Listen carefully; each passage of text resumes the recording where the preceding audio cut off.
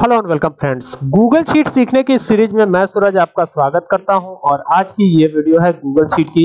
खास होने वाली है काफ़ी ज़्यादा ये वीडियो, क्योंकि आज के इस वीडियो में हम बहुत कुछ खास सीखने वाले हैं। तो चलिए आइए आपको बताता हूँ कि आज के इस वीडियो में हम खास क्या सीखेंगे। तो यहाँ पे देख सकते हैं, बहुत सारे स्टूडेंट का नाम लिखा हुआ है। ये ऑल ओवर इंडिया से हैं, इन्होंने एग्ज़ाम पार्टिसिपेट किया था और इनका नाम यहाँ पे लिखा हुआ है।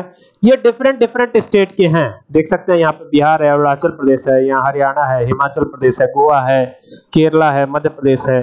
अलग अलग स्टेट से ये लोग बिलोंग करते हैं।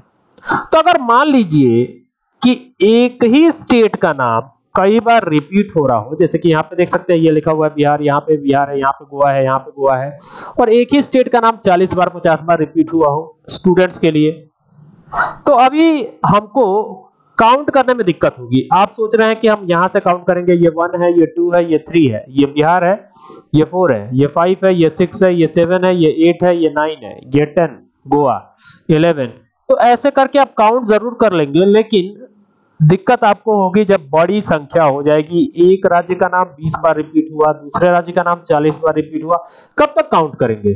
तो यहाँ पे प्रॉब्लम होती है। तो यहाँ पे जनरली हम लोग करते क्या है? काउंट ए का फॉर्मूला लगाते हैं, क्योंकि काउंट ए टेक्स्ट और नंबर दोनों ही को काउंट करता है। तो यहाँ से इसको पकड़ा और यहाँ से सीधा सीधा ये हो गया। ठीक है? अब ब्रैकेट को क्लोज किया और यहाँ पे प्रेस किया एंटर तो यहाँ पे जैसे ही एंटर प्रेस करेंगे तो ये काउंट करके बता देगा कि कुल मिला के आपने 29 राज्य यहाँ पे आप, आपको मिले हैं। ये बता देगा ये फॉर्मूला लेकिन अभी प्रॉब्लम ये है कि यहाँ पर बिहार आया हुआ है यहाँ पे बिहार है। बिहार का नाम दो बार रिपीट हुआ है। हमें यूनिक वैल्यूज़ ही काउंट करने हैं। ये बात ध्यान रखिएगा। यहाँ पे गोवा है यहाँ पे गोवा है। ठीक है? इसी तरीके से आगे आएँगे तो यहाँ पर नीचे और भी चीज़ें आपको देखने को मिलेंगी। जैसे यहाँ पे मध्य प्रदेश है देख सकते हैं।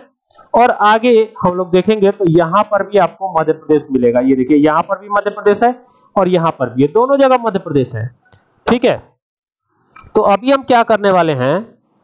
अभी हम क्या करने वाले हैं? इसको पहले मैं आ, सही कर देता हूँ। ये यहाँ से इसको व्हाइट और एमपी और कहीं आया था आ, ये रहा। ये भी मध्य प्रदेश है तो इसको भी हम टेक्स्ट को व्हाइट कर देते हैं और यहाँ से इसको ब्लैक कर देते हैं। तो देखिए एमपी यहाँ पर भी आया हुआ है। तो इस तरीके से तो हम छाटते रह जाएँगे तो इसके लिए एक फॉर्मूला आपको बताता हूँ। काउंट ए तो आपको लगाना ही लगाना है। इसके साथ आप यूज़ कीजिएगा यूनिक फॉर्मूला यूनिक तो ये यूनिकली वैल्यूज़ को दे देगा आपको निकाल करके। तो ये यूनिक यूज़ किया। अब यहाँ से हम पकड़ते हैं और पूरा ड्रैग कर जाते हैं लास्ट तक। ये हो गया। अब ब्रैकेट को क्लोज किया और एंटर प्रेस किया तो यहाँ पे देखेंगे कि आंसर आ रहा है 25 यानी कि केवल और केवल यूनिक वैल्यूज़ को ये काउंट करके आपको दे दे रहा है। उम्मीद करता हूँ ये बात आपको समझ में आई होगी कि ये यूनिक वैल्यूज़ अगर आपको काउंट करनी हो यूनिक स्टेट के नाम काउंट करने हो, बड़े पैमाने पर तो कैसे इसको करना है? तो वीडियो पसंद आए तो शेयर करें। Thank you for watching this video